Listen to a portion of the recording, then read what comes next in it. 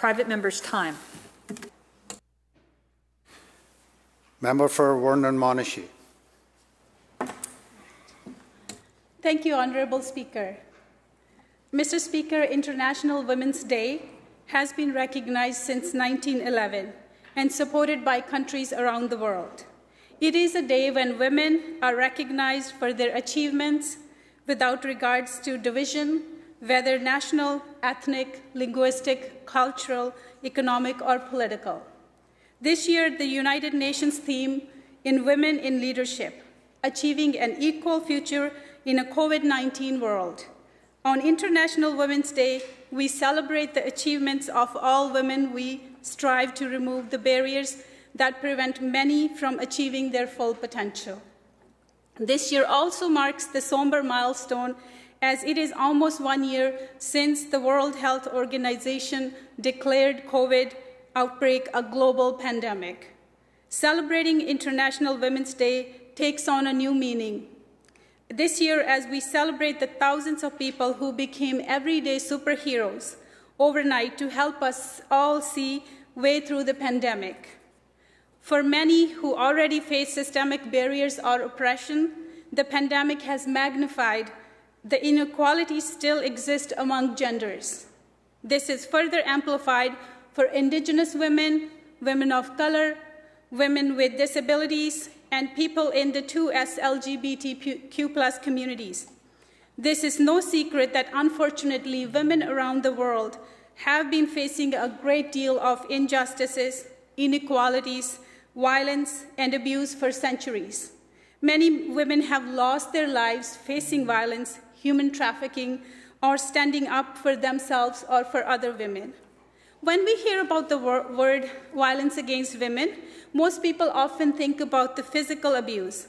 Unfortunately, Mr. Speaker, women experience violence in many ways, from physical abuse to sexual assault, uh, sexual harassment, from financial abuse or to trafficking, and in today's world, digital abuse like cyberbullying.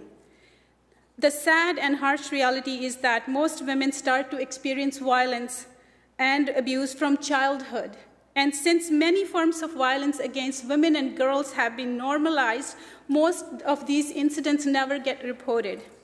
Many women suffer silently, whether it's due to the fear, safety for themselves, their children, or due to the fear of being judged. Women in prominent positions are also affected by this, and many are reluctant to share what they face regularly in fear of seeming vulnerable, Mr. Speaker. Let's identify and encourage women among us who are silently facing violence and lend them a helping hand to ensure their safety and well being.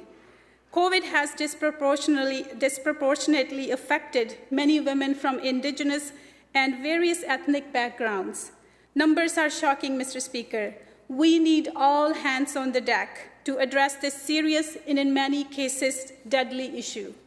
Mr. Speaker, there are more ways we can help uh, to end gender based violence.